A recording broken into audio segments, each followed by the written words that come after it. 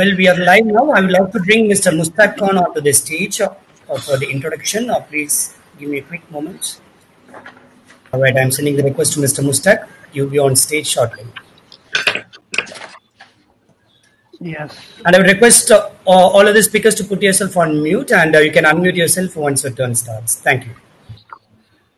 So good evening. We are at the end of the uh, day seminar, and uh, it is my privilege to introduce a person who is going to moderate this session. But he is already uh, involved the whole day as an anchor to this program. I am talking about uh, Dr. Dipankar Shah. So right now the Dipankar Shah, Dr. Dipankar Shah is uh, with PNP as advisor for national policy on water. For, uh, he is the former, he was the former uh, member of CGWB and also member secretary of CWA. He had his PhD from ISM Dhanbad. He was the national coordinator in National Aquifer Mapping and Management Program also. He authored more than 100 publications and uh, uh, he, pub, uh, he edited two books which was published by uh, Springer. He was the recipient of National Geoscience Award in 2011 and also the Groundwater Excellence Award in 2014 given by Government of India. He was the visiting professor to IIT Kharagpur and right now he is the um, expert advisor on water to the government of Gujarat. Thank you, Dr. Shah. Here is uh, Dr. Shah for the concluding session as the moderator. Okay. Thank you. Thank you, Mustaq Sahab. You see, we have a very distinguished panelist in the concluding session. Yes. Uh, the panelists are, I will, I will give a brief introduction with, uh, uh, the first is, uh, uh, Sri Sushil Gupta, who is presently the member of Punjab Water Resources Regulatory Authority. You know, the Water Resources Regulatory Authority are coming up uh, one after another states. In some of the states, they are they remain as a part of some some of the departments, and in some of the states, they are becoming independent body. So it is very very important that how they are taking shape. The Water Resource Regulatory Authority. So he is a member of Punjab State Water Resource Regulatory Authority. He was chairman of Central Groundwater Authority, and he was consultant to National Water Mission, World Bank, then advisor to CII, and he was chairman to Central Groundwater Board also. So many publications, many report, uh, uh, supervised many investigations. So I am not going into detail. Uh, so he he is our one of the most distinguished panelists. Then uh, Miss Bernita Doornbos, he is from he she is head water and infrastructure uh, Helvetas Swiss Intercooperation. Uh, she is the leading in the water and infrastructure area of Helvetas. Uh, she is an agricultural engineer specialized in irrigation. She has been working in rural developments in, since 1996 in Latin America. Her experience includes smallholder irrigation, irrigated water resources management, climate change, etc. Prior to working at Helvetas, Bernita did research on use of sprinkler irrigation by small farmers in Wageningen University and worked with SNV as irrigation advisor. Then we have another uh, very distinguished panelist, uh, Madam Dr. Marcella D'Souza. Uh, she is executive director of WOTR Center for Resilience Studies. WOTR, you all know, very distinguished NGO working in uh, water sector in various parts of India. She is a physician by learning and opted for community health early in her career. She is an alumnus of Government Medical College in Nagpur uh, and uh, Takemi Fellow of the Harvard School of Public Health. Uh, she has spent more than three decades in rural development in South America as program coordinator for women's promotion in the Indo-German Watershed Development Program, Maharashtra, and she has founded the Sampada Trust and initiated several innovative intervention in WOTRs. Very distinguished madam, welcome you. And then the uh, other panelist is Shilpa Nischal. She is senior counselor in CII, Confederation of Indian Industries, specifically uh, in Triveni Water Institute in CII. Uh, she has over two decades of experience on diverse sustainable development issues, particularly related to water resource. Her areas of work include water resources evaluation, hydrometeorological analysis, and hydrological risk assessment. He spearheads many projects in CII Water Institute, Triveni Water Institute, and supervise many activities. So, with all these uh, distinguished panelists, uh, let me start. I have given the responsibility to moderate the uh, the session. So I think already I have discussed some discussion point with our eminent uh, panelists, but I was thinking that I should mention some of the uh, few few points that has been that has emerged. There are many things that has been discussed throughout the uh, the day, but uh, some very important issues that has come up I will just mention you will speak on on the on the on the program that we have already decided. But if you can give some thought on these points, that is also welcome. So number one is the, there was a discussion uh, in the beginning. I am not mentioning the presenter's name. I am only uh, highlighting the points. Those have been discussed. Number one, inter-basin water, water transfer and interlinking of rivers in India. It's a very important interface in water transfer and interlinking of river because there are diversity in availability of water in space and time domain in different parts of India. That's why it is very, very important. And then how to store a skewed rainfall. Uh, you know, because of the climate change, the rainfall pattern is changing in space and time domain. The rainfall is becoming skewed.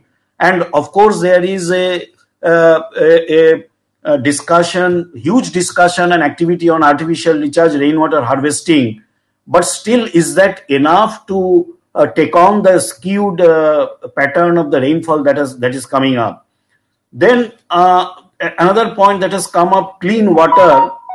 How much it is get importance vis-a-vis volumetric scarcity? I mean, when in India, when you discuss about the water stress, we generally gravitate towards the volumetric uh, volumetric shortage. But recent studies that are coming up that that is highlighting the quality issues also. So where is the trade-off, and does the quality is getting enough importance in the in the government documents, in the policy documents, and their execution?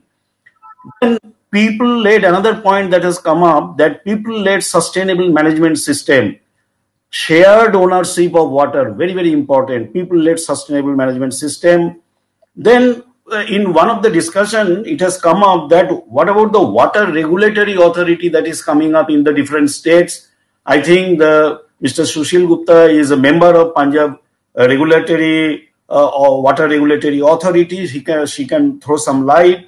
How it is coming how transparent it is how it is effective in resolving the disputes and then the eh, during the last part of the discussion, it has come up about the data availability and data use, data generation, how the community and NGOs can be involved. You know, the government departments are generating data, collecting data. Now the NGOs are also collecting data, generating data. So communities are also, they have also started collecting data, generating data how to store them in a common platform, in a common format, that is a, uh, hugely uh, challenging and groundwater data is needed for any decision making. We need a time dependent data. So if somebody starts collecting data and stop collecting data after two years, then what about its use after four years or five years? Because when you take a decision on water or groundwater, we need historic data.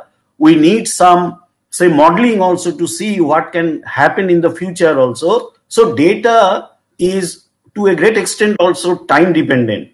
Uh, so with these few points that i have highlighted i first hand over to uh, mr sushil gupta our distinguished specialist first to speak on uh, on the on the issues and whatever he want to speak after the day long discussion.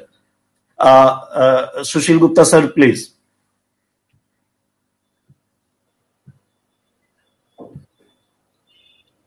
So to uh, Kindly give me the sharing this thing. I want to share a presentation.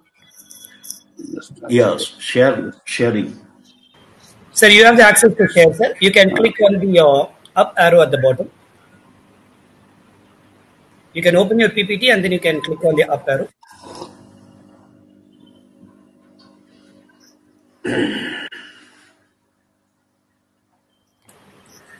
Is it visible? Not it, sir. I think uh, Is it it's- visible Not to yet, all? sir. not it, sir. Not it. Not yet. Okay. So probably you can stop the share and you can try once again. You can keep your PPT open and then click on the up arrow and then you need to click share screen.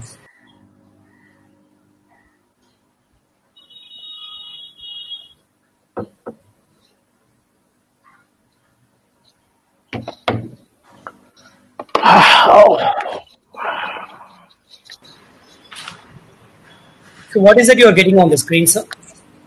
No, just a moment. I have to cancel it and then. I'm getting this this only whatever all the panelists and everything. Should I keep my PPT in the PPT mode and then share? Uh, Sorry, sir. You have a PPT open? Yeah. Yes, once you have kept it open, you can come to AirMeet and uh, click on the share screen of option, which is the up arrow. Once you click that, you will find a window. I'm finding a window, but it is asking me to share either the entire screen or the. Yes, you can click entire screen. Probably that should work. In case you have any issues, you can click share entire screen so that it goes to your desktop and you can open. You can click on your PPT. It is not doing anything. Once you click entire screen, what does it happen? Just a moment. Just a moment. You need to click on that and then uh, it will have either submit or next option. No, because it is entire screen application window. Is once you click entire screen, what is it happening? Once you click that at the bottom right, you need to click the submit or what are the option you're getting there. I'm getting only cancel, nothing else. Right. So if you click application, what's happening? Application window also cancel only, nothing else. All right. Or if there any way you can send the uh, PPT to the organizer in WhatsApp or something, maybe we'll try to share from our end. I can send you a mail. Uh, sir, Dipankar sir, would it be uh, possible for you to get it from him so that we can share it? Yeah, yeah. You mail me. You mail me. I will mail to Jayesh, and Okay. Jayesh can arrange it. Sir, in the, in the meantime, we can proceed with other speaker if you're okay with it. yeah.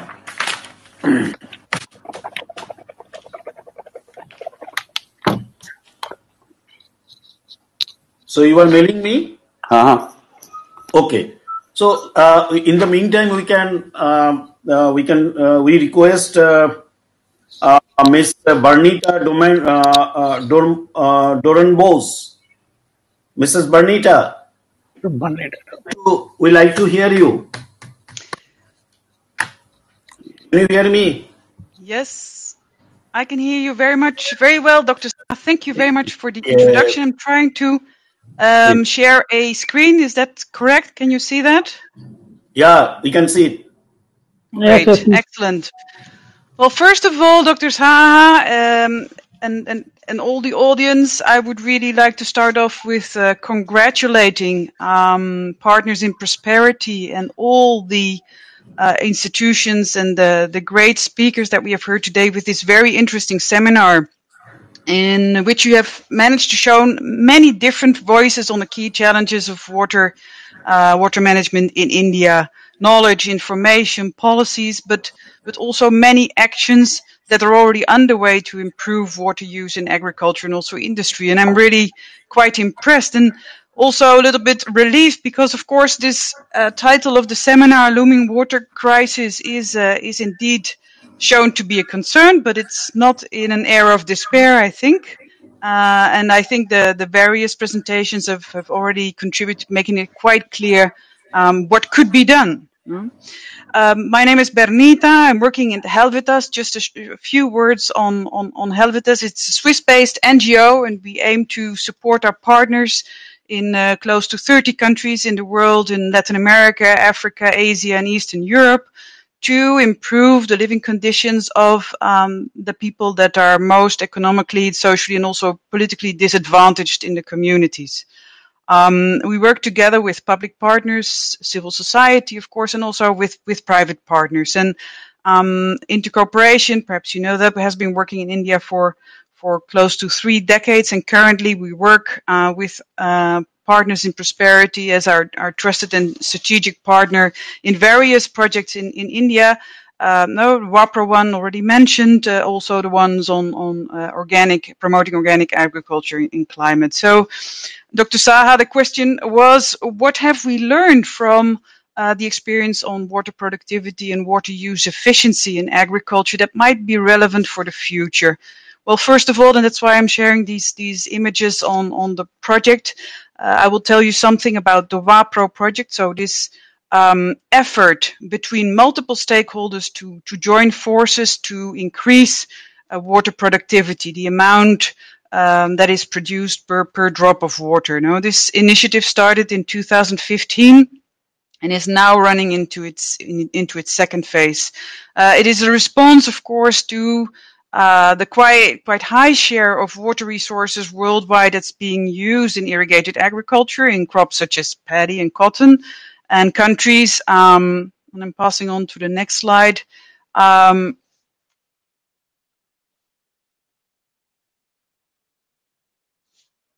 passing on to the next slide, showing um, the countries that are currently uh, in, involved in this effort. So it's Pakistan, India, Tajikistan, Kyrgyzstan, Myanmar, Madagascar, and most recently also countries in, in West Africa.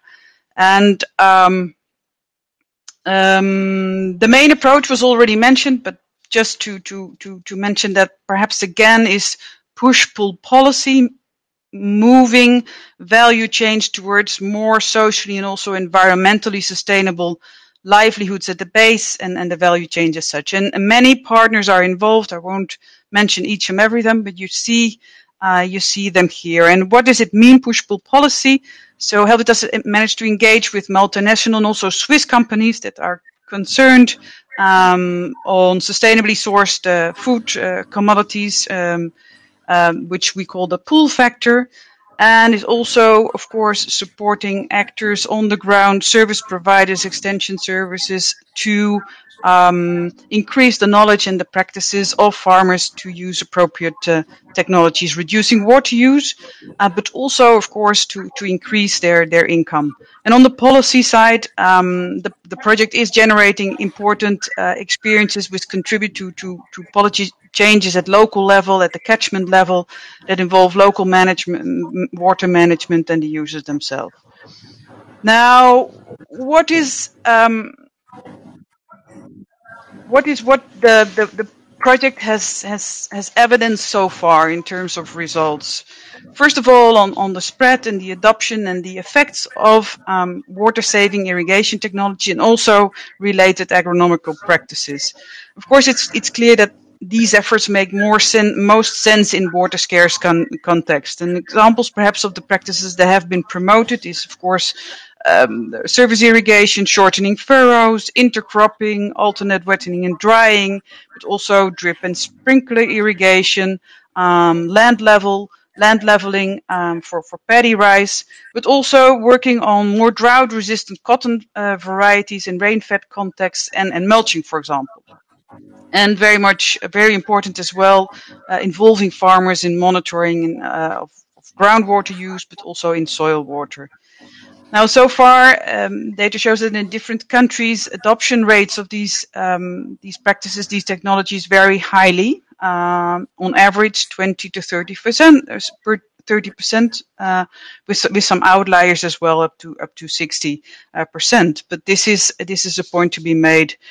Uh, of course, on the effects on water use, on irrigation efficiency at field level, there are good examples that show it, show uh, reduction in, in water use. For example, with the practice of shortening furrows in uh, Kyrgyzstan and Tajikistan, and cotton, uh, this resulted in, in, in water savings up to 20 to 40 percent.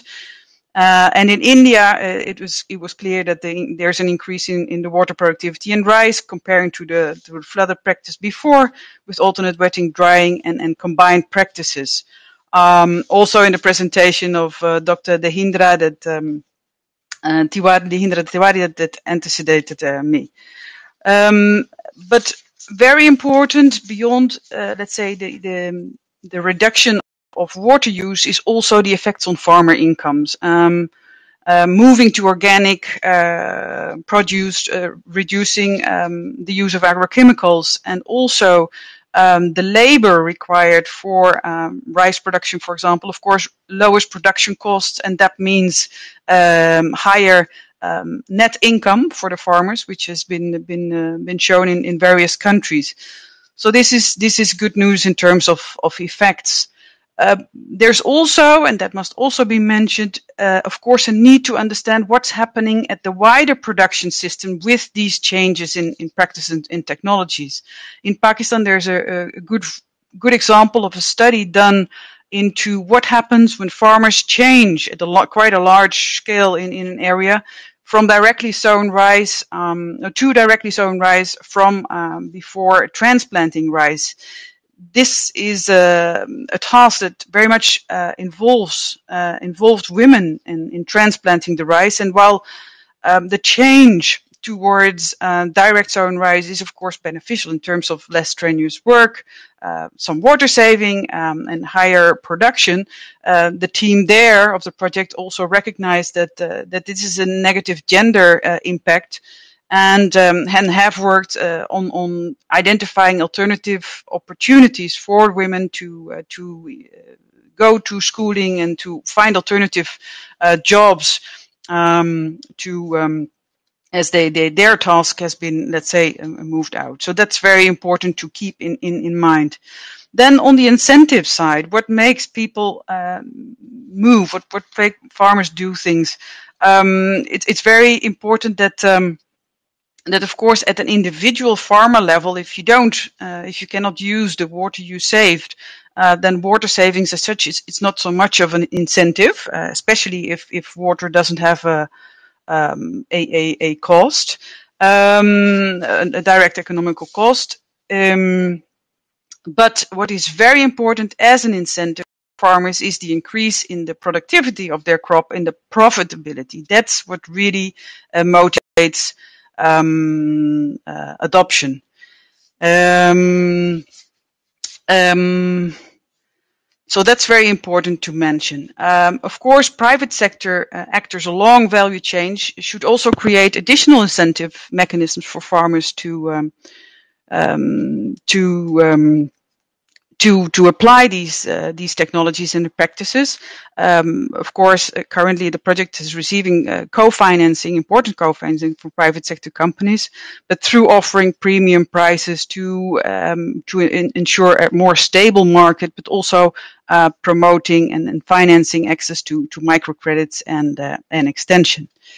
Um, now, uh, around um, the the topic of um, now what's next? What what can we do with with with these lessons? Perhaps there are three ways forward. First of all it's clear that uh, reducing um, water use in value chain with a focus on farmer benefits is a way forward. We have found that the topic, the notion of water stewardship, so collective action towards more sustainable use of water with a value chain approach is a useful approach we need to link um, consumers with with sensible sensible traders that are willing to invest in the social and economic sustainability of their um, of their value chain with farmers, uh, with the focus on improved livelihoods. And this approach enables a mutual understanding of, of the roles and also synergies be- between all these players. So what we need is, of course, a motivated private sector uh, actor that's willing to invest and support farmers in, in, in changing practices. And of course, here the argument, there's an economic argument for improving water efficiency, but also, and we've heard it today, it's the risk for businesses uh, if, if water scarcity is increasing. Then on the farmer side, it's also very important that farmers see a business case in the sense that it, that the improved practices um, increase their increase their income, increase their re- returns, um, and then another very important part of the of the formula is of course also consumer awareness. And as an international working ngo based in switzerland this is an important factor. And we've heard it also this morning from uh, uh, from corinne Demenge, the sdc um, we need to contribute both in, in, in a country as india as, as, as in a country as switzerland to towards more consumer awareness on what are the water footprints of our products, the products that we use, um, especially if they come from from water scarce uh, uh, contexts. Now, there are of course uh, standards uh, developed for for organic, for um, for greener and um, production, but also for um, for um, better water stewardship. These, these, the AWS standard, it's a standard that the, this program also works with, helps to guide and also recognize sustainable water use practices. Uh, however, currently the producers working with WAPRO are not certified uh, under the, but this is a future pathway to follow. And what we need to promote is that these standards that will allow um, also in the future consumers to take uh, informed decisions are applicable in the context of smallholders, and which is a reason why Helvetas is contributing to the technical committee on the uh, Alliance for Water Stewardship. That's one point. The second point, what we need to do more. A value chain approach is, is good, it's not sufficient. We need to um, maintain a clear focus also ground on the catchment on territorial level. Um, there, if private sector is a, is a water user, as we heard from the industry, it's of course important that, that the private sector takes on a role in water governance structures, but also if they're farther um, uh, downstream the, um, the value chain, let's say, that they participate and support water stewardship plans and actions on the ground. And in general, it's very important for water governance um, to be inclusive, to be community based.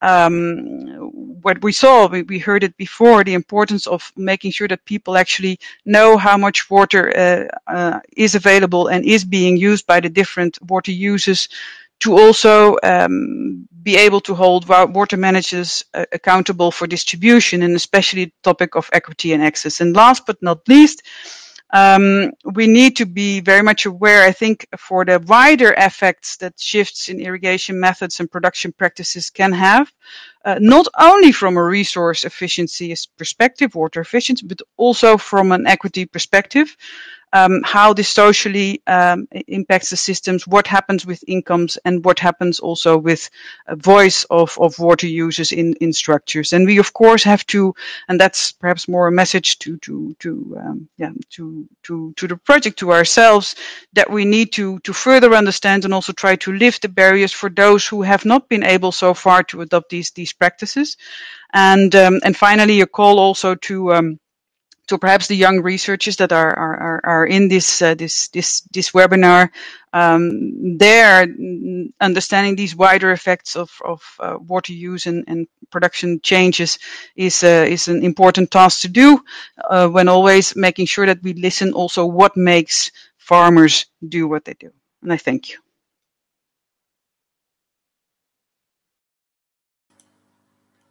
thank you Ms. Bharnita for uh, immensely enriching and informative uh, uh, views. Uh, so we got a flavor of what Helvetas is doing around the world in different countries also. And you have rightly mentioned about the not only the resource perspective, the equity perspective is also very important, very very important. So uh, with this, uh, I will request if the uh, the presentation is uh, ready to make or uh, Sushil Gupta Yes, sir, the presentation is ready with me. I can share the PPT. Yes, please share. And uh, I request uh, Gupta Sahab to, uh, you just tell uh, next, he will change the PPT. Yes, the PPT. I'll do that. Emis, please place the PPT. Can you hear me so that I can start talking at least? Yes, yes, yes, we can hear you. Okay. So good evening to all of you. It's probably the fag end of the day-long session. We've heard a lot of experts speak about, and my talk will be mostly like a layman who knows something about water and keeps on uh, discussing with the, everybody regarding water, whether it's a farmer, whether it's a hydrogeologist, whether it's a planner, whether it's a regulator, or whatever. So my And then I was given a work by uh, Dr. Saha that I should talk about uh, why there's an overexploitation, what are the policy interventions by the government, and uh, what to do finally, what should be done. So all my thing is basically very non-technical, easy to understand, and for a common man. So yeah, uh, thank you. So don't know, go, don't go by my affiliations written here. Next, please. Uh, I'm just talking as a layman. Again, as I'm saying. So if you see uh, in the morning, the Secretary Water Resources is also saying that why should the demand increase? It has to increase. There's no there's no question about it. The only thing is that how you manage it, whether you make that into physically, yes, demand is increasing, but your requirement is not increasing. There are two different things. You don't use because you become more water efficient. That is a basic thing. So if you see the per capita water availability is reducing, there's no doubt about it. Next, please. So water requirement, we should always consider what is our water footprint. You see, no doubt that as the development goes on higher and higher, you will have a higher water footprint. So it's not that that India's water resources are sufficient. As we grow, our population increases, our food requirement increases, food habits change, and the standard of living. You know, if I required, say, 50 years ago, if I required 100 liters of water, today I require 400 liters because my standards have increased for everything. So overall, the water requirement will increase. Climate change is another deterrent that is coming in the way of uh, good quality water or more less water available for recharge or use. And the main thing is, again, in the agriculture sector, people have been talking since morning about the rice. Rice in India, we consume almost 3,000 liters to produce one kg of rice, whereas the developed world, like US, uses only about 1,200 to 1,300 liters. So that means we are highly inefficient people as far as agriculture production also goes. Next, please. Now, what have been the various policy interventions? First of all, we have a national water policy, which has mainly, it wants to have a national water framework law. It has prioritized what is the use of uh, which uh, uh, use will be most important. And it also takes into account the health of the river, we should adapt to the climate. These are all normal things which you are talking every day, but it has no application so far because it's just a policy at the national level with no clear-cut directives, very frankly. And I think, as I heard uh, the secretary again this morning, and probably Dr. Saha is also involved, we are coming out with a new policy. I do hope that it, it is more uh, inclusive and more uh, in the directional side. Then we have a very important uh, plan that is a national action plan for climate change under which there are several missions, and the mission that we are concerned about is on the National Water Mission. I have worked in this mission also for about a year. And one of the most important uh, objectives of this mission was, I would say, is improving the water use efficiency by 20% in the coming decade. But I'm again, I'm sorry to say, probably not much has happened since then. Then we have a national water framework bill. In, in as I said, in the national water policy, it was uh, decided to have a national water framework bill. That bill has also been prepared, but it has probably not found the favor of the government so far because it has not been approved at any level. Next, please. Then we have a we came out with a model groundwater bill in 2017, which recognized the principle of subsidiarity in the sense that uh, it will be a groundwater will be treated as a common pool resource, as a common heritage, and the state will be the public trustee of groundwater. Of course, this is very difficult in practice and legally. Those Supreme Court judgments are there to support it. But as a legislation, it has not come so far. It is a very good thought process. I was one of the authors for this also. So it is ultimately, this is of the hour to manage our resources. Now, we have also been talking about community participation. That the approach to groundwater is one of the best approaches. We have several examples. Arvari River by Rajinder Singh, then Ralegaon Siddhi by Anna Hazare. Then we have one NGO-led program, Andhra Pradesh Farmers Managed Groundwater System. This is a huge program. Hivre Bazaar, Popatrao Pawar. Then we have now, the latest is the government run and world with the World Bank. We have the Atal Bhujal Yojana. In this also, we are talking of water security plans and stakeholder involvement. My one uh, question about all this is all these programs were very successful, are rather very successful in their areas when the because these are all leadership driven programs like Rajinder Singh, Anna Hazare, Popat Pawar. So these are continuing in these areas, but have they been replicated? I have my doubts. Andhra Pradesh Now to Manage System, this was not a leader driven, it was an NGO driven program under the uh, World Bank and Asian Development Bank schemes. But again, once they withdrew, the, this program has also virtually tapered off.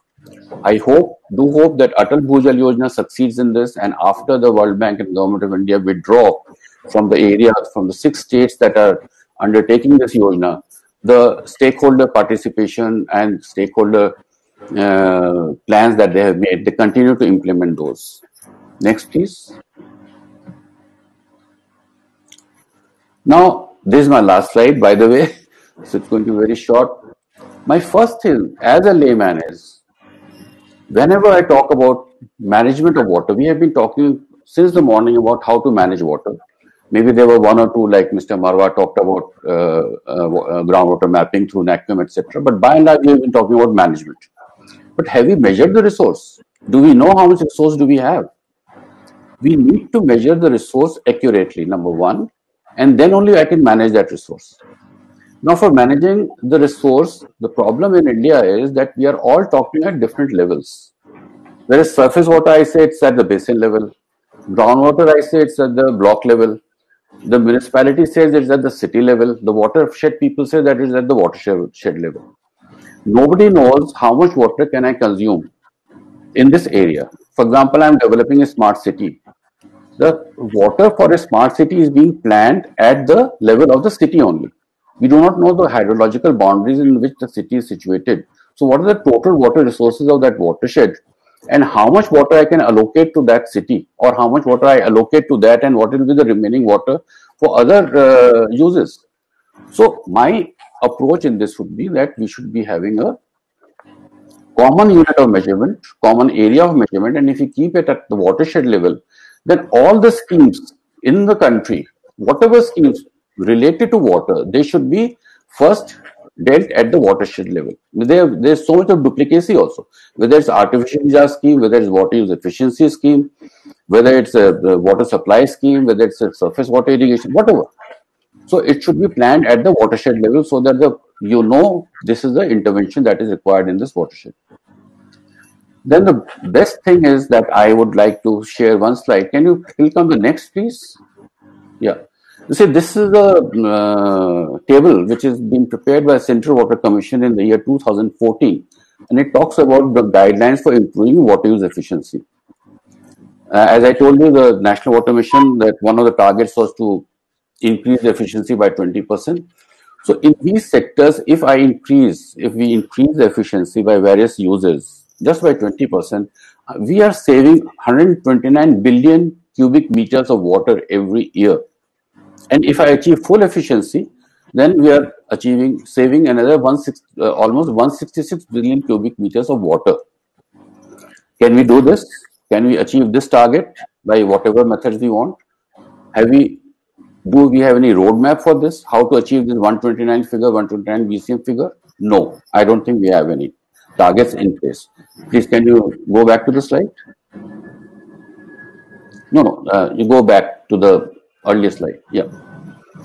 So one is that we should have highly efficient use of water across all sectors, whether it's drinking water, whether it's irrigation, whether it's industry, whatever. And the government has been trying to set up a National Bureau of Water Use Efficiency since almost, I would say now, 12 years.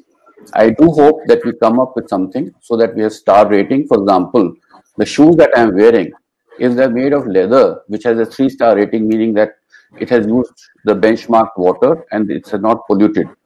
So I should go for a three star, just like in electrical appliances. Why not? Why not uh, label our rice also? Uh, the rice that we export, the other countries should have a labeling system that if India exports this star rating rice, then only we'll buy it. We'll automatically start saving water in production. So there should be something to do about efficiency. Of course, all these things which I have pointed out here have been discussed by various speakers since the morning. Was a seminar was on water crisis, conjunctive use, community pool irrigation, allocate irrigation water as per need. That we are talking about the Pani Bachao Pani, that electricity scheme of Punjab. That is on Gujarat also has such a scheme. Then data, we have talked a lot about data, but my data, what I am trying to say here is, I am talking of data from literally illiterate farmer's point of view. He does not understand artificial intelligence. He does not understand anything. He just wants to know how much water do I have? What can I do? And this has been done in participatory programs so far, but somehow later on it all tapered off and that has been restricted to only those areas. So we need a very huge outreach program along with data which can be used by an illiterate person to for his benefit to irrigate his crops etc. Again, we have talked a lot we, in the previous presentation. Also, we talked about the true cost of water. Unless until anybody, for that matter, a farmer or common man, does not realize what water costs and what it will cost him, he is not going to save it. That's very clear. The governance has to be uh, collective after considering all these four dimensions. Then, uh, although uh, had not told me earlier to talk about Water Regulatory Authority, but yes, since he has now uh, said, I'll just speak for a couple of minutes about that. Uh, the Punjab Water uh, Regulation uh, and Development Authority was formed just about four months back. And uh, I'm one of the founder members of the authority. It has two members and one chairperson, apart from the supporting staff. So it's very new to say what experience do we have or what we have done. Uh, the only thing that I can say is that we have come out with the uh, draft guidelines to grant permissions for groundwater withdrawal for industries, etc. They are in public domain, and we are inviting objections from all the, all over. Whoever is interested, please do file your objections or comments or whatever you can call it. The and the only thing that I am, uh, though I am part of the authority, is that even Punjab Authority, or for that matter, Central Groundwater Authority, which is the apex authority in the country, we are by and large trying to govern or regulate only the industrial water use. We are not trying to do anything as a regulator to the agriculture water. And I am surprised that even the National Green Tribunal has in its uh, latest judgment uh, mentioned that agriculture water has uh, has a different dimension as compared to the industrial water. So indirectly saying that agriculture water has to be dealt in a very delicate manner or whatever it is. But whatever, we should do it. And even CWA, or for that matter, most of the authorities, Punjab Authority, by and large are not touching agriculture water in one way or the other. So, and the last thing is, uh, of course, uh, political will is required. Water is such a sector that without the political will, we just cannot do anything. I think that's all. Next.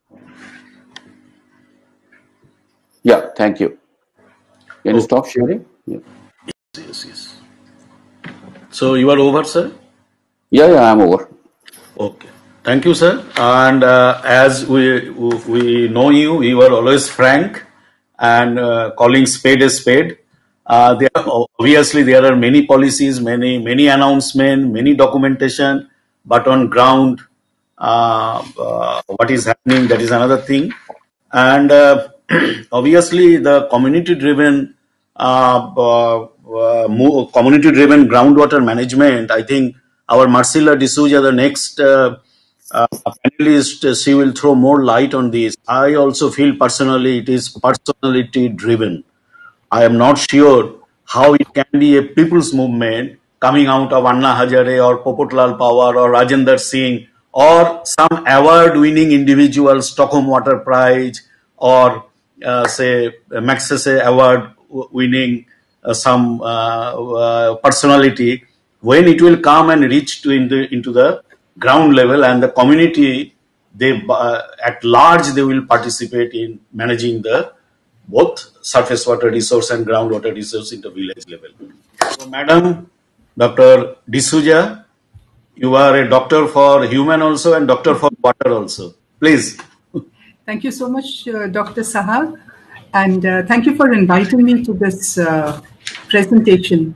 I have to say that right from the morning, I have been overwhelmed by the very intense and informative uh, presentations and discussions uh, that we have had. Not enough of discussions, but we were so, uh, I mean, the information is so rich. Uh, you know, coming at the end of the day and uh, coming from the practice on the ground, uh, and my organization has been working in watershed development right from 1992 or 1993 uh, mainly because we saw water scarcity as a cause for, and degraded lands as a cause for poverty in uh, Ahmednagar district. Okay, and now, uh, in a few a few years ago, um, ISRO had released its uh, report, which shows that land degradation in the country has increased by 1.9 million hectares between 2005 and 2013 and this is after so much of watershed development having been done in the country. The question I asked myself when I saw this was what does this mean for the farmer? What does this mean for our groundwater? And this is what we realize after we had done watershed development so called successfully as we all know, watershed development is for soil conservation and water conservation. And with this increasing in the village, agriculture production and productivity increased, water levels increased in the village, uh, in the villages, and we've got a lot of, there's a lot of data around about that. However, with the increase in groundwater, we realized that there was a spudding of wells and bore wells right across, which meant groundwater extraction. And in a way, we may think that watershed development has contributed to India's exploitation of the groundwater. Uh, this is just by the way, okay? I do know that this is very important because agriculture is the survival of more than 55% of our uh, population and most of our farming communities. What we also what we realized is it's not just increase in agriculture, it's also the intensity of agriculture that has increased. Uh, here, I would say that with water availability in a number of our uh, subsurface uh, aquifers, you know, a number of farmers are able to take the crop in summer, which normally should not be done in a rain-fed, uh, rain shadow area. But this is what is happening. It has brought in possibilities for uh, cultivation. Another big problem, what we realized was that with water availability, a number of farmers increased um, their uh, wells and borewell, uh, the numbers of wells and borewells increased. However, gradually, those who could dig more borewells dug more borewells within their wells, and that led to, in a way, water stealing from others who had. Some bore wells have some wells have gone dry, other bore wells have increased. So this has been a kind of a, a negative vicious cycle. What what we observed in a number of villages. This led water to WOTR, my organization, to realize that just doing watershed development is insufficient. We need it to be accompanied by water, groundwater management, water stewardship, and agriculture productivity. Unless the farmers see good production of their agriculture in a, in a climate resilient manner and following more of organic practices, they will not, nobody will contribute to water management. And with that, we realized that it was water stewardship and uh, climate resilient agriculture has become a part of our whole approach to um, to watershed development and the plus plus plus. Production has increased. Farmers have uh, uh, have adopted it. We realized we had to also see that the gender aspects were considered. It's very easy for us to forget all about it. However, with this need, you know, there was no pathway at the time to follow. This started way back. Our water budgeting started. water budgeting started way back in around 2007 8 in a small trial and error method, a little more um, effectively around 2009 10 11. By about 2013 14, we were able to come up with a more um, uh, a more uh, systematic way of doing it through a lot of trial and error methods, experiences with the communities. That was the time when we then started our water stewardship. What we got the community, and not just individual isolated communities, we realized we had to bring the whole cluster of villages together because it is the villagers who need to challenge one another. We are all outsiders no matter whether we speak the local language or not, we are still outsiders to that culture. So bringing a cluster of villages together was very important because they talk the language, they challenge one another, and that for us has been a very positive impact. We bring the villages together first to assess their own water status. It's called the village health chart, the first motivation for them to take it up. We link this up with the village uh, water and sanitation committee. We may we train this community to be the water uh, management committee, linked under the Gram Panchayat, and together with the village development committee. So it, they are all interlinked. And this, once the villagers have an idea about their water, their water status, it motivates them to do something about it. And then begins the uh, repairs and maintenance of watershed structures that have already been done. This has been one of the lacuna in most of the watershed projects. Structures have been done. It's the maintenance and management that is quite forgotten uh, after that. This program integrates repairs and maintenance, which is now taken up by this village committee. Following that, they prepare their water budget plans based on the, the what they traditionally do, but now we link it to the rainfall patterns and the water assessment in the wells and bore wells. So this standard water budgeting, I think, which is practiced by many, here is where we get the villagers to um, uh, villagers to make their plans and to move more towards water uh, uh, water management, the judicious use of water and linking it up with climate resilient agriculture, with good agriculture practices, has been very uh, important in this whole process. Getting women to be water stewards, you know, in this has been a big uh, uh, process in this.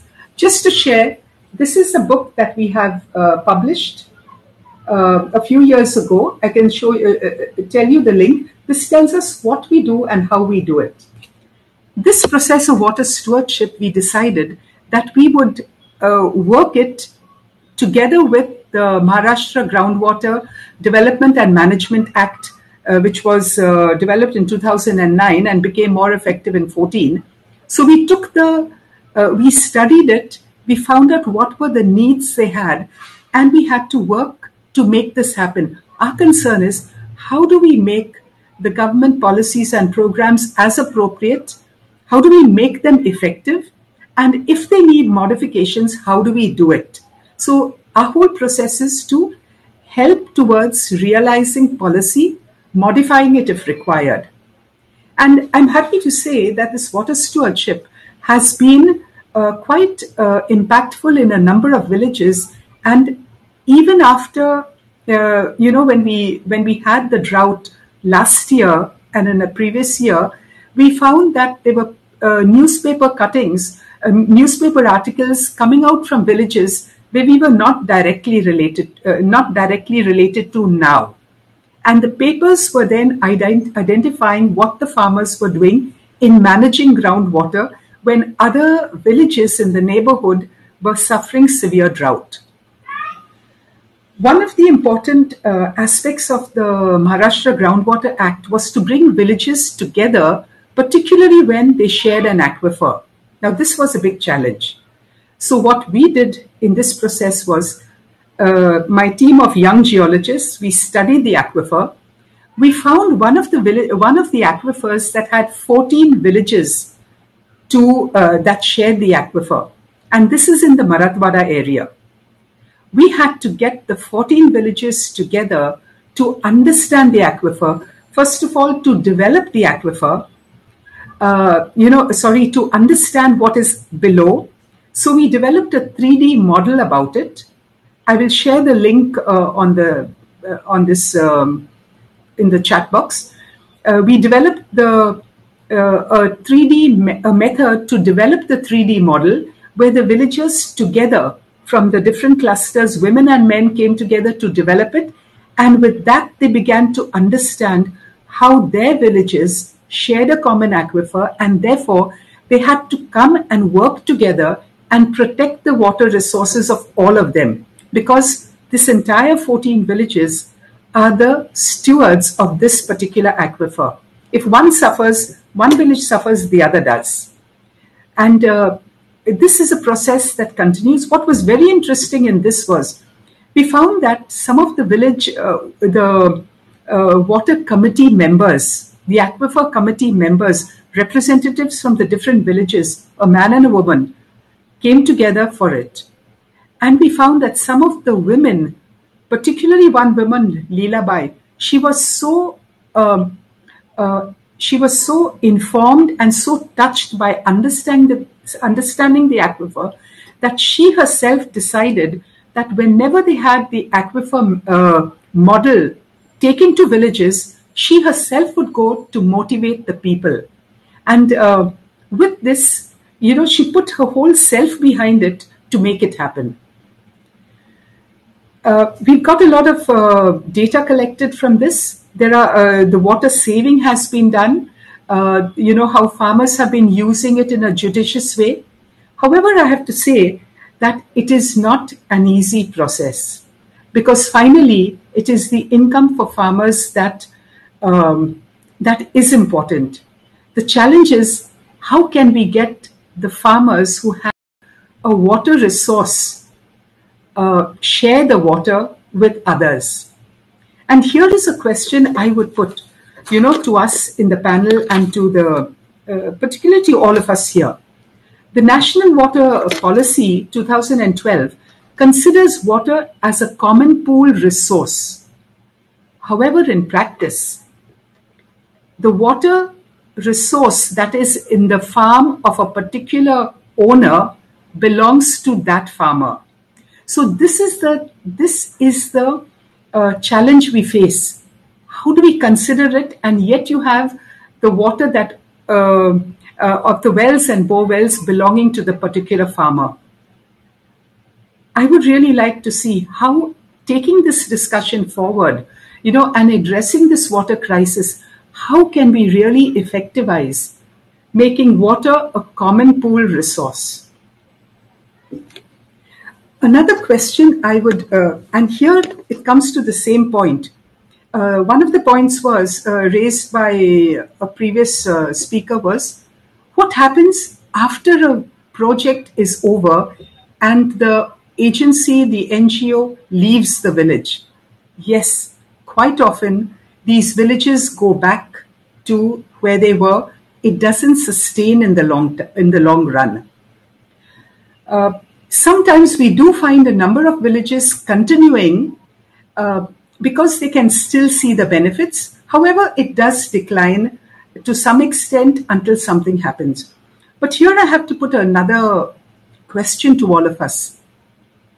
Do we expect that the villagers will continue um, the, with the same momentum after a project is stopped, particularly when we have newer situations that they face. For instance, with the climate change, with the, the challenges that are coming, with, coming up with climate change, with the risks that are coming up with there, how do we get these communities to continue learning from these processes? Sometimes there are new policies that are coming in how do we keep them informed so that they can take informed decisions that are equitable and that work towards the um, work towards the common good. So this is this is another uh, question we keep asking ourselves.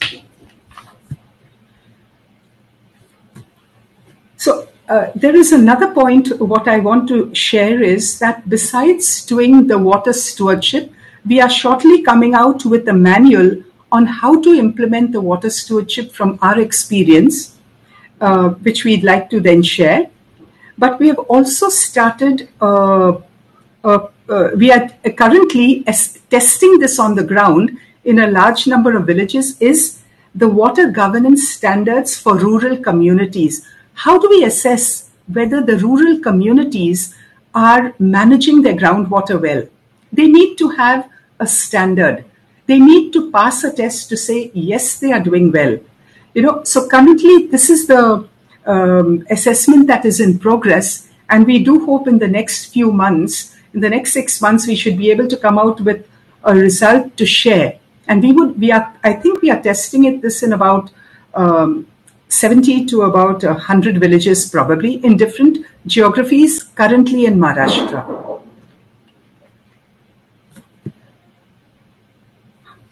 Into this whole process, what we realized that we could not do it alone only as a practice practitioner organization.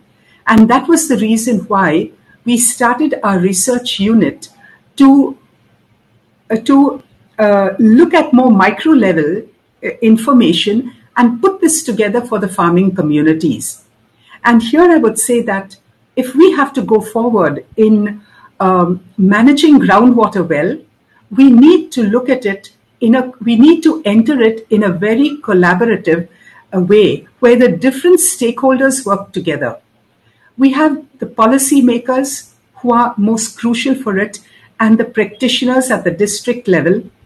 We have the ngos at the district level. We need the science community to bring in the information that ngos and practitioners need. We need the civil society we need the uh, corporate society, the corporate agencies with their funding to support us in this common effort. We need to, and we need to keep the community at the center because they are the leaders to take it forward.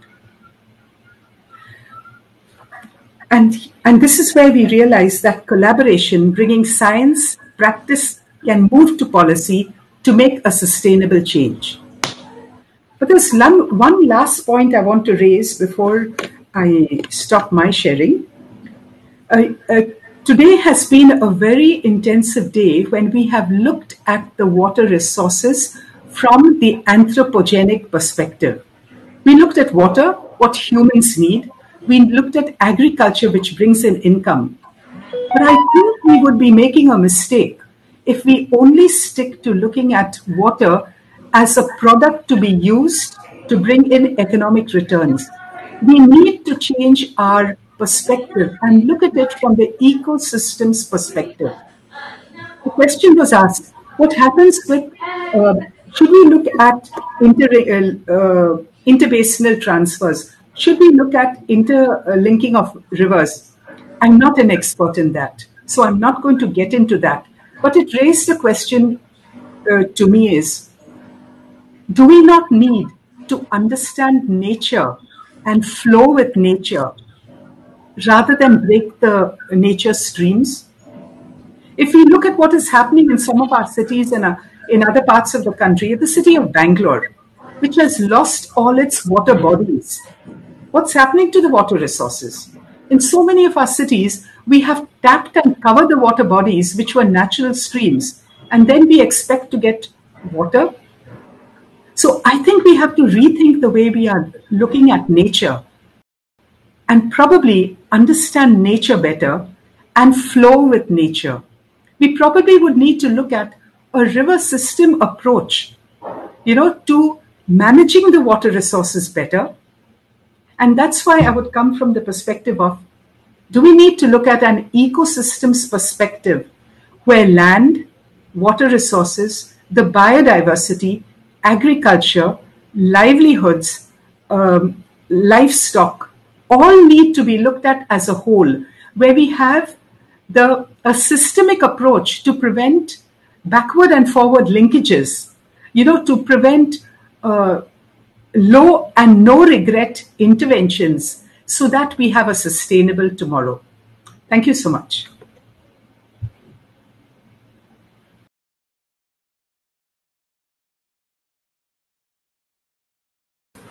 I believe Dr. Dipankar is getting reconnected. Uh, in the meantime, uh, let me check. Mr. Mustak or someone would like to take any lead or, or Mr. Dipankar has got disconnected and is connecting back.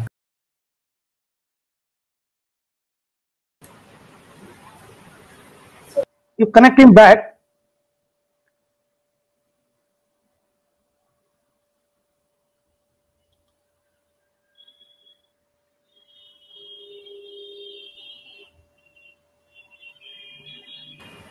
All right, I think he's uh, frequently getting disconnected. Would anyone else would like to take the lead, the moderator or Mr. Mustak?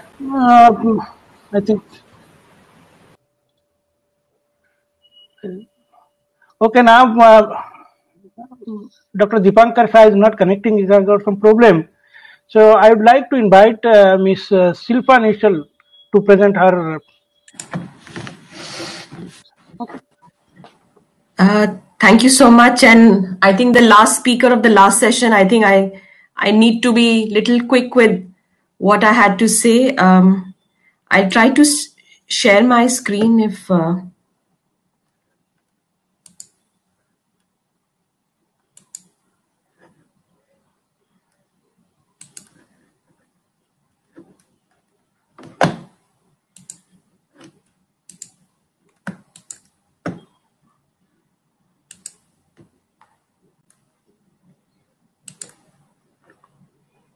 uh, is my presentation visible?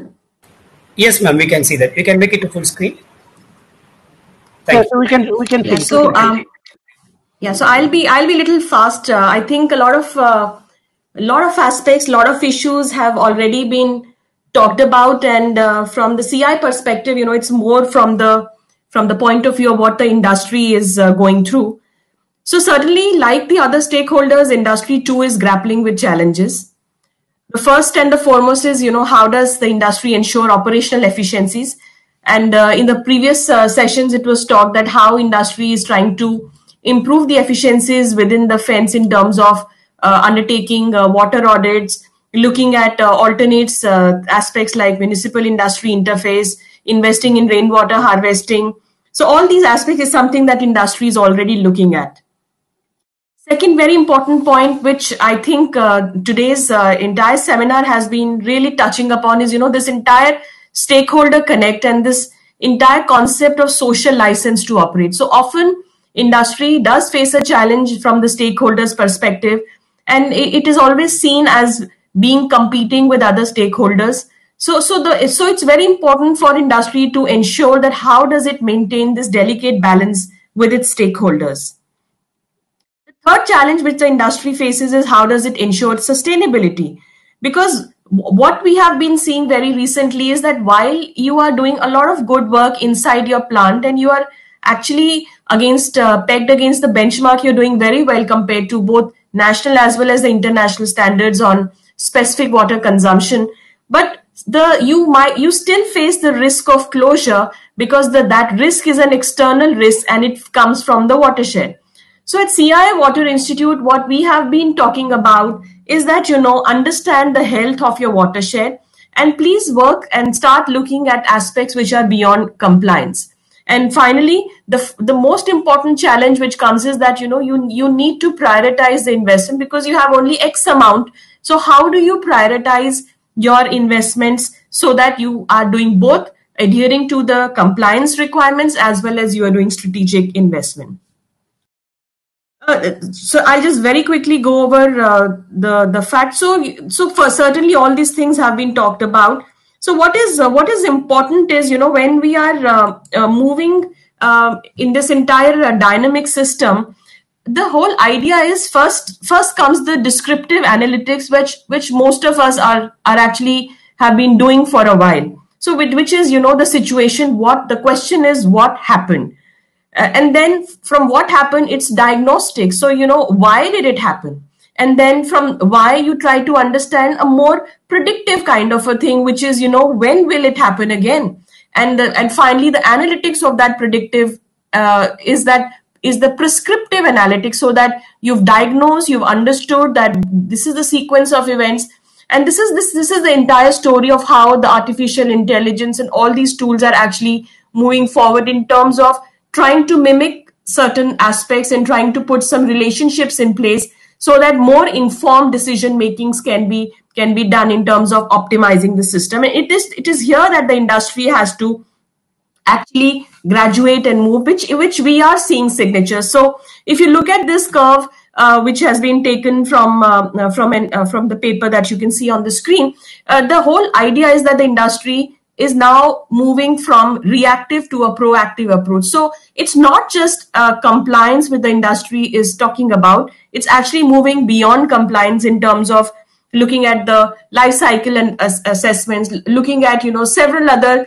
aspects which can actually become more proactive. It becomes a part of the watershed and it, it tends to undertake aspects such that the, it can contribute to both the ecosystem as well as to the, the, the watershed to which they belong. And this is the philosophy of CII Water Institute. So CII, as you may know, has several centers of excellence. And Water Institute was developed in, in 2013 primarily with the objective of looking at this core uh, issue and the various linkages with other resources. And the, the, the, the philosophy is actually transforming conservation and management, changing mindsets and behaviors of stakeholders and also trying to make uh, management practices more effective at the grassroots level.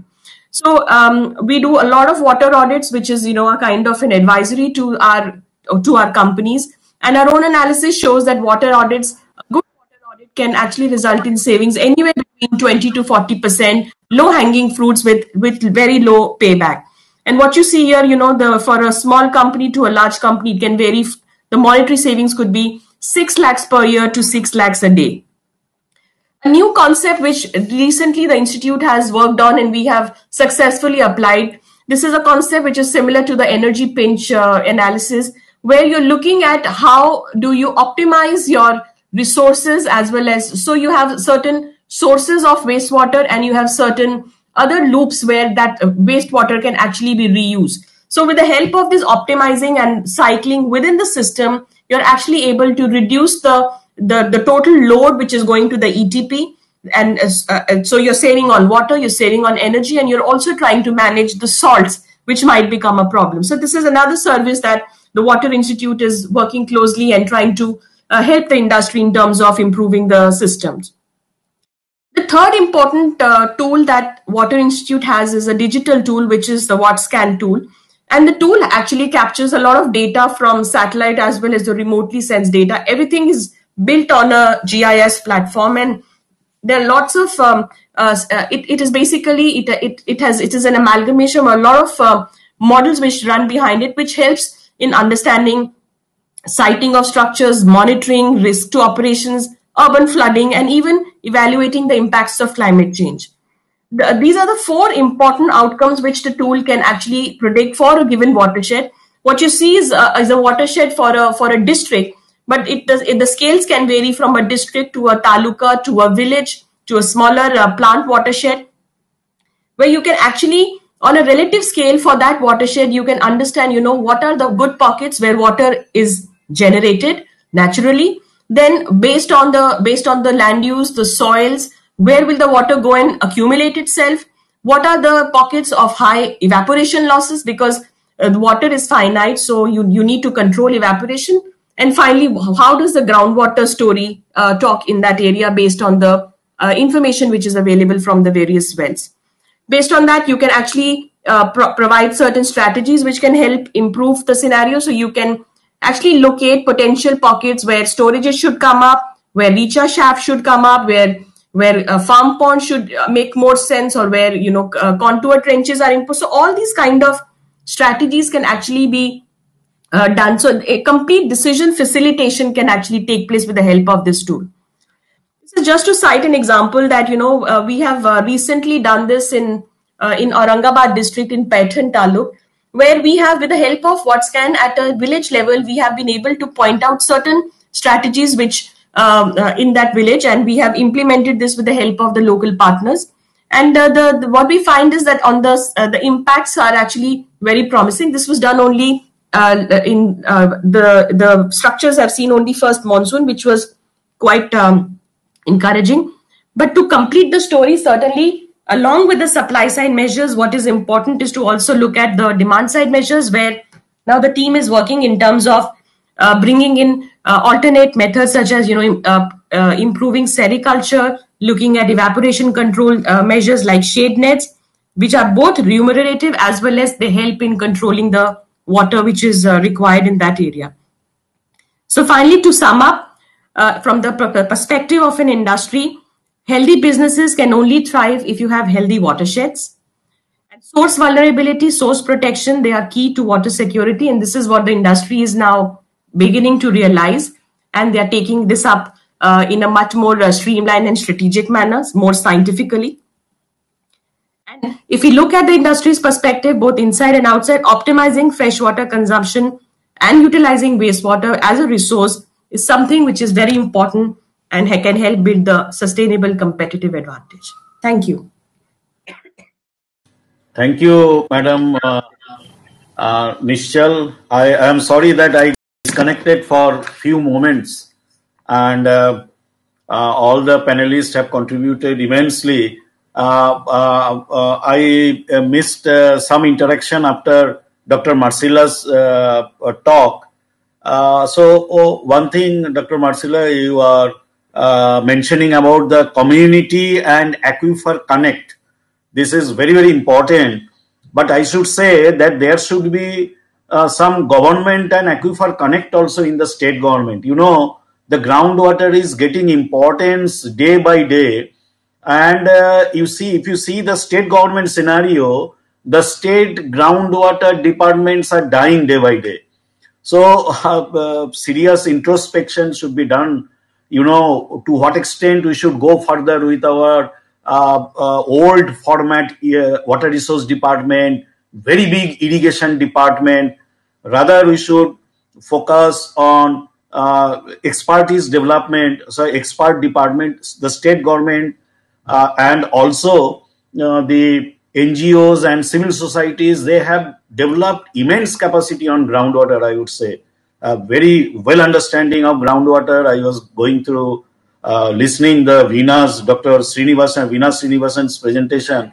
What wonderful work uh, she is doing and another thing you have mentioned that watershed uh, activity is going ahead, groundwater recharge is uh, enhancing, groundwater storage is enhancing, and at the same time, there is part of groundwater well structure.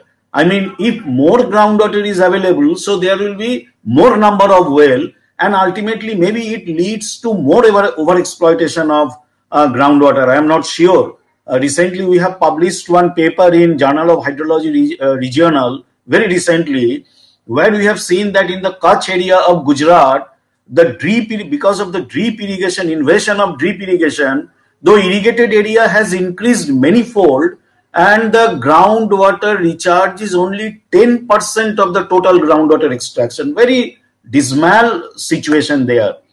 Uh, anyway, you have raised uh, very vital points. Thank you for that.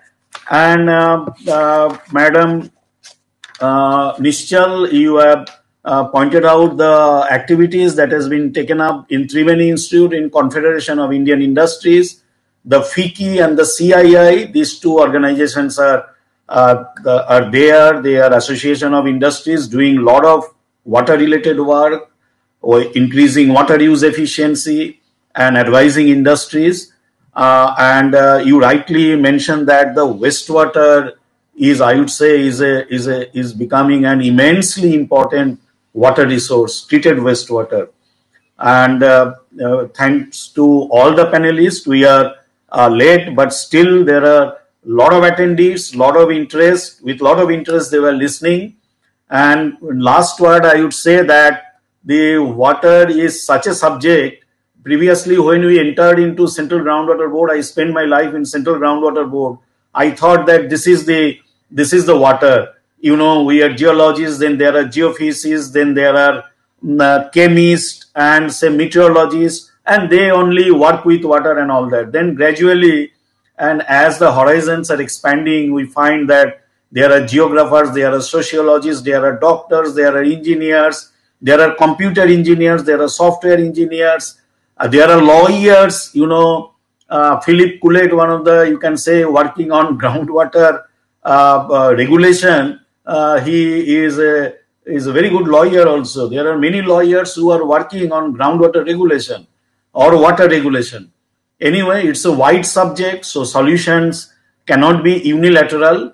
But above all, everybody now agrees that participation of community is essential and all stakeholders should come into uh, if not one flat platform in a commonly formatted uh, platform to solve the water issues in, in india so with this i think uh, we have done enough for today and thanks to all the panelists and thanks to all the uh, attendees also who spent their entire day with uh, us and uh, obviously enriched us. So with this, I will take uh, all of your permission to uh, close the uh, day-long seminar and hope we'll uh, see you all again. Thank you. Thank you all. Thank you. Thank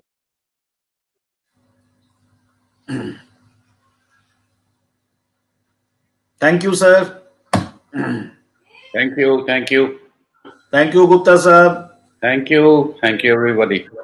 Yeah, thank you, Dr. Marcella. Thank you, Ms. Bernita. Thank you so much. It was really a great event. Yeah, everybody, everybody, take care. The corona second phase of third, second wave of third wave that is coming in Europe also and in India also. So take care of that, and hope to see you all again. Thank you. Bye bye. Bye. Bye bye. Thank you all. With this, we are ending the session. Once we end the session, you all will be able to access. Ah, there is there is an announcement. There is an announcement. Those who are desirous of a certificate, uh, they should uh, emiss. They can get up to twelve o'clock today night. No. Yes, sir. What I will do, I will keep the social lounge open. So uh, people can access that anytime. Like once it's over, they can go to the social lounge and they can interact with others. Okay. Once until let me know, close it. They can still network until whatever the time Okay. In the social lounge, you please announce it. In the social lounge, Yes. please announce it. There, there are many students, many research scholars. They they may want. They are looking for the certificate also.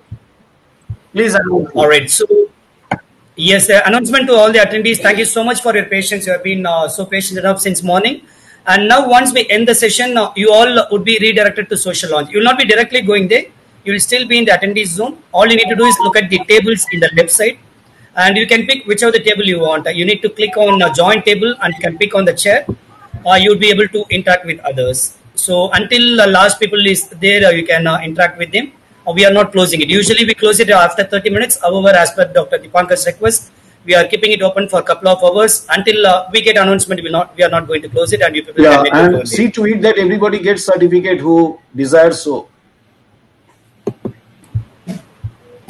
All right. Thank you so much, sir. So can I end the session? Yeah. Thank you. Thank you. Thank you.